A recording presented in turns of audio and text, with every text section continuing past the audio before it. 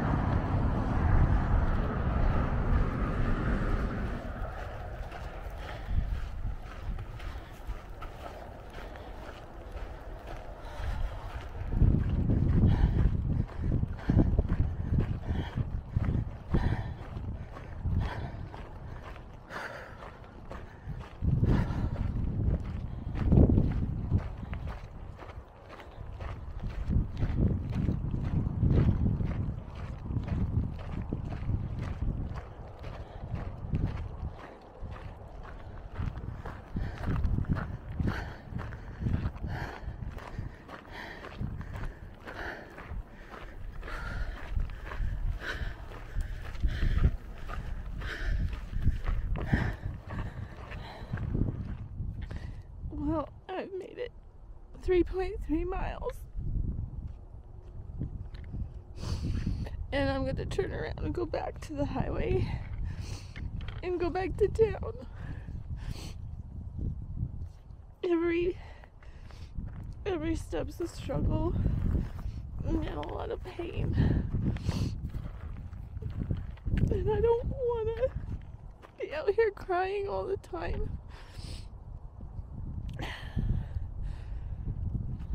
And I don't want to force my body to do something that it I can't do. I think I might have slipped a disc or something when I fell in Baden Powell I haven't been right since. And it's only getting worse. So it's putting a lot of pressure on my hips, which really hurts when climbing, and my legs have nothing left in them. They're so weak. And I uh, took a breather earlier and almost fainted, so there's something not right. And um, I don't like to quit, so this is really hard. But I've been crying more than I haven't been out here. So I think I think my journey here might be over. So yeah, I'm gonna go back to town and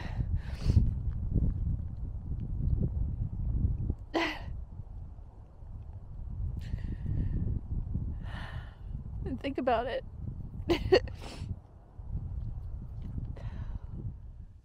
Hi guys. Um, I wanted to do an update. I know I left off very upset and kind of abruptly yesterday. So I wanted to go over what's happened since then. So as you know, I made the decision to go back to Tehachapi I made it 3.33 miles yesterday and felt like it was unsafe and unwise for me to continue going forward. I could have forced myself to, but the way I was feeling, I felt very strongly like if I kept going, I was going to get to a point where I couldn't probably go forward and then I'm putting myself in a position where I would need to hit the SOS button, and I didn't want to do that. So, as I cried on the mountainside, I called my mom and got her opinion as well, which was turn around and go back to town. So that's what I did. And it actually took me quite a while to get back to the trailhead. Um, I was in a lot of pain and I felt very defeated. Um, but Trail Angel Richard picked me up, and he is a retired military, retired EMT. Um, so he immediately was asking how I felt, what was wrong, what did I need, and he took me to the hospital. So I spent the afternoon in the hospital in Tehachapi. Um, I got x rays done on my back, my spine, and they determined that um, nothing was broken, which was good, um, but that I had a lot of inflammation on my spine. And that was um, causing pressure in my hips that I was feeling, and basically, stop hiking, stop carrying weight. Um, so, um, yeah, so that, I mean, it was good news that there's nothing, I was concerned that I might have damaged a disc, and that's still a slight possibility, but, um, yeah, I want kind of wanted to rule out anything major, including that. So, anyway, I ended up, they gave me some drugs that made me pretty loopy. So, I went back to the Best Western Plus for last night. and uh, I contacted Diane and Dr. Bill, as well as uh, Ken and Gina. They were the couple that I met um, when I saw Dr. Bill the first time. And I let them know what was going on. Um, Diane picked me up this morning and took me back to see Dr. Bill, who gave me another treatment and um, kind of confirmed what the hospital said. He doesn't think that I have a damaged disc yet. Um, but had I kept going, that was definitely a possibility. So it was the right thing to do to turn around and come back. Um, and basically, he feels like I've got the equivalent of a sprained ankle only in my spine. So the fall that I took in Baden Powell, um, had I stopped and taken some time to heal then, I'd probably be okay now.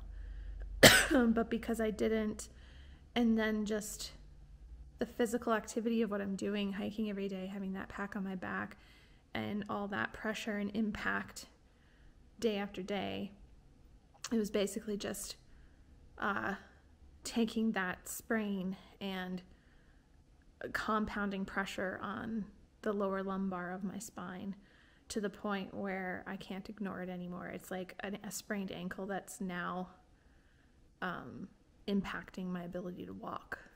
So he has advised that I take four days of basically just laying down as much as possible, taking it easy. He's given me a lot of anti inflammatory um, things to take and some exercises and whatnot. So, what does that mean for me and where the heck am I? Where what is this? so I'm currently staying in Gina and Ken's guest house. They have a separate private suite above their detached garage, and they are offering it to me for as long as I need, which is pretty amazing. And uh, um, two days ago, I was a complete stranger to them, and they hadn't even really heard or didn't know a whole lot about what the PCT was. It's not like they bring in PCT hikers all the time. So I feel incredibly blessed to be here. I think it was very generous of them to take in a complete stranger who was in need of a place to stay, a person who was in need of help so yeah, I uh, I feel very blessed to be here. So I have this beautiful suite with my own kitchen and everything for the next few days. So this is where I'm going to hang out while I'm still in Tehachapi.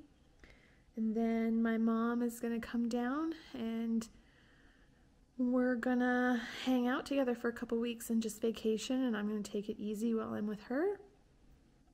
And then I'm going to go to Reno and stay with Jody and she's offered me to stay with them for a week or two as well. So I've been given the gift of time. This kind of injury could easily take somebody off trail and take them off permanently because, you know, where else, what, where could I go, you know, to give my spine the time that it needs? And ironically, I was going to take this many weeks off after I got to Kennedy Meadows anyway. But my body just decided, nope, I don't have another 140 miles in me. you need this break now. So I feel very blessed that I've been given this gift of time, the time to heal, to see if I can go back to trail in a few weeks' time or not. Um, I wasn't ready to call it quits completely and permanently yet, um, so this offers me that time to see if my back will heal enough that I can keep going. And I'm definitely praying that it will. I'm not ready to end this hike. I am disappointed that I'm not going to get to walk into Kennedy Meadows. I really wanted to finish the desert section, but Far Out considers the desert section over into Tehachapi. So according to Far Out, I did complete the desert. So there you go. But yeah, I am disappointed I won't be walking into Kennedy Meadows, but that's okay. You know, I'm disappointed that I'm not doing the Sierra this year too. So this journey is it's panning out how it's supposed to be panning out. I've learned the art of pivoting, and this is just another aspect of pivoting. It's not what I wanted, but that's what's being handed to me. And so I'm going to take this as a gift and then um, should my body feel good enough to come back to trail, then I will in, you know, three to five weeks' time. I think I'm going to skip up to Oregon and do Oregon and Washington. Um, I'm tired of California.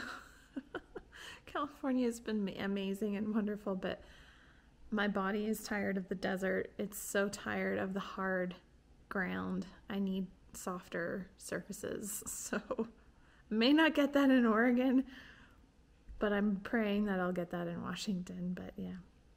So that's that's where I'm at. I am on a 3 to 5 week hiatus.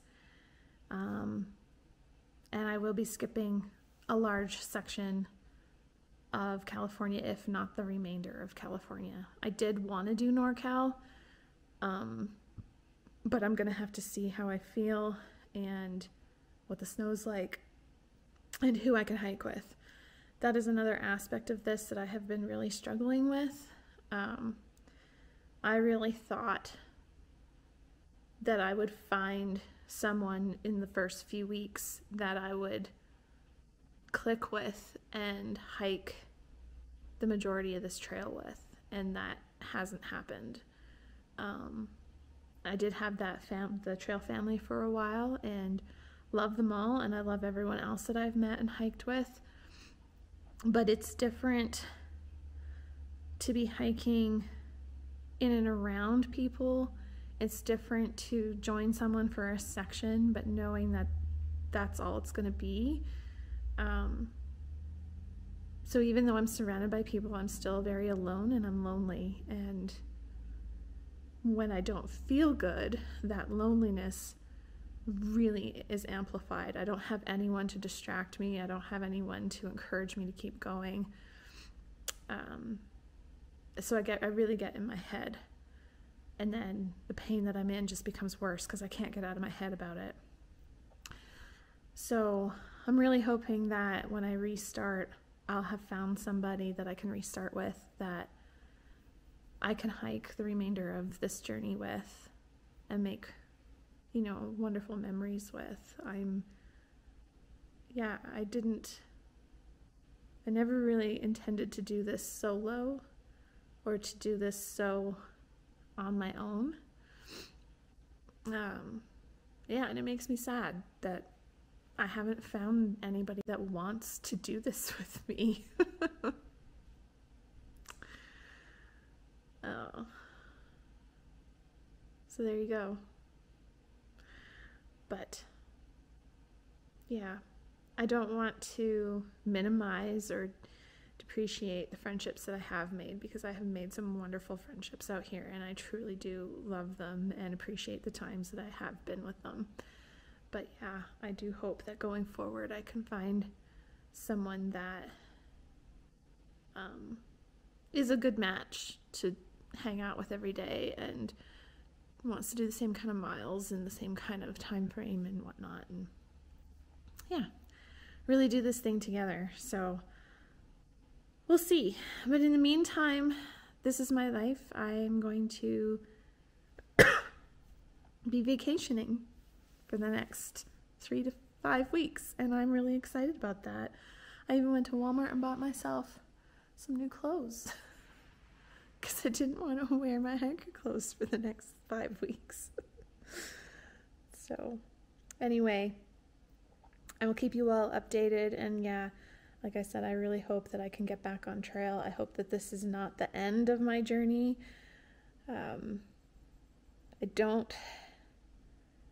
I don't believe in my heart that it is. I do think that God is going to heal me and He's going to provide me a way to keep going. So I hope that you all pray that for me too. And uh, yeah I'll keep you posted. Bye.